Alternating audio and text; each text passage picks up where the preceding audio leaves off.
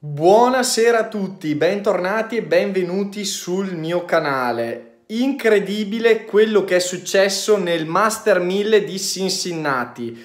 Premessa, non sono a casa, ho visto quanto accaduto, mi è arrivata la notifica, non ho visto la partita, quindi sarò molto onesto con voi, non posso commentare con, un, con un'opinione un parere tecnico quanto è successo in campo però il risultato è chiarissimo. Gael Monfils elimina Carlos Alcaraz nel 1000 di Cincinnati nella gara d'esordio dello spagnolo. Ora, per chi mi conosce, per chi segue questo canale, sa che non sono solito fare polemiche, non sono solito fare paragoni, però questa è una gran risposta, è una grande lezione a tutti quelli che dicevano che Sinner vale un'unghia di Alcaraz, che Alcaraz è di un altro pianeta, che Alcaraz è infallibile, che Alcaraz di qua, che Alcaraz di là.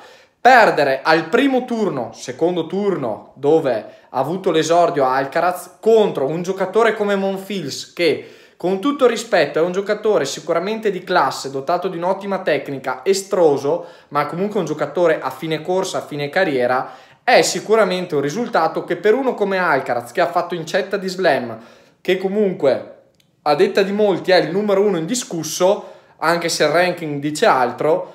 Insomma, io credo che sollevi molti punti interrogativi e avevo già fatto un video qui sul canale in cui facevo vedere che sì, Alcaraz è vero, argento alle Olimpiadi, due slam in più di eh, scusate, uno slam in più di Sinner nella stagione in corso, però anche alcune sconfitte contro giocatori nettamente inferiori. Quindi, insomma, il risultato di oggi è veramente clamoroso. Alcaraz eliminato.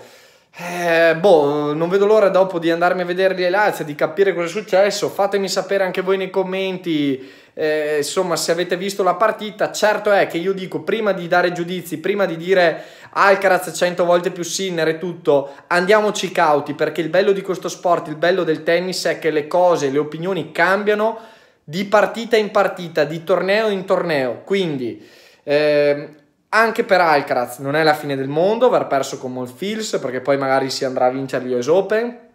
Rimane comunque un fuoriclasse, rimane comunque un giocatore fenomenale. Certo è che eh, non si può dire che perdere contro Monfils per un giocatore che è numero 3, numero 2, ma anche forse il numero 1 del mondo, un giocatore del livello di Alcaraz non può essere considerata una sconfitta che ci sta. È sicuramente una brutta caduta contro un giocatore di tre spanne inferiore. Quindi, ripeto, non voglio essere polemico, però concedetemi che chi spara giudizi un po' troppo affrettati, in questo caso dovrebbe avere la coerenza di dire lo stesso nei confronti di un giocatore come Sinner, che ricordo da inizio anno ad oggi, come ho detto nel video precedente, oltre a essere il numero uno del mondo, oltre ad aver vinto gli Australian Open, si è sempre fermato al massimo, eh, scusate, come minimo ai quarti di finale. Quindi credo che questo sia molto indicativo del fatto che non ci sia questo divario tra i due.